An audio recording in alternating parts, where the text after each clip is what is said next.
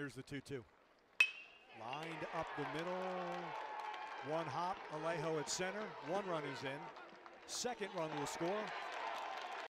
The two Ks are swinging. Hit this well to left. A no doubter toward the scoreboard. That ball is gone. Second solo home run of the day for the Musketeers. They now lead 7 to 5.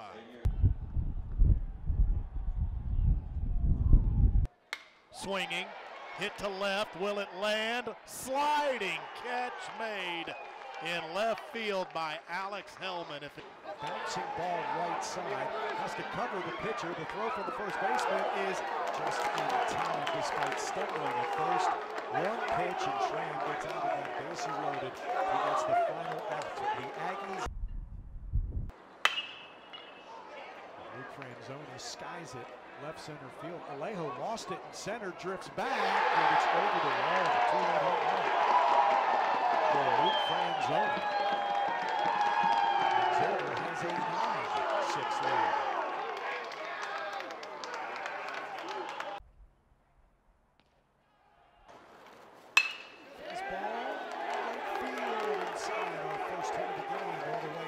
Corner. Over there, chugging for second. Jared Cushing. The first hit's a double by the second baseman for hitting home.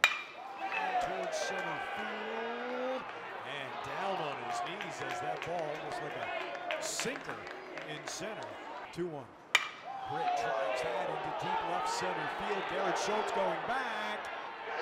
On the warning track, he dives and he makes the grab for Xavier. Does he find the right pitch to go on? That is in the air, right field, long run. Logan Britt back toward the bullpen where the Musketeers are, and it's in the bullpen. They're out to a two to nothing lead in the top of the fourth of game two.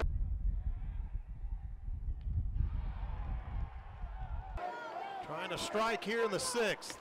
That's a swing and a miss, but it got back to the wall. Catcher couldn't handle it, but Trevor Werner didn't know it. He didn't take off immediately, and they will be able to throw him out. 1 0. It's a high fly ball into deep center field. Schultz going back, still going back, on the track near the wall, falls into the wall but makes the grab. 0 1.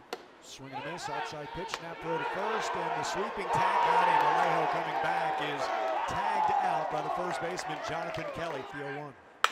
Round ball, left side, diving to his left, throw to second in time, turn to first. Oh, what a double play turn by Xavier on the right side. Olson in fair territory, drifting to the mound, puts it away, and Xavier a doubleheader sweep on this Saturday, taking game one 10 to six, and the three-hit shutout by four pitchers in game number two, the two to nothing win.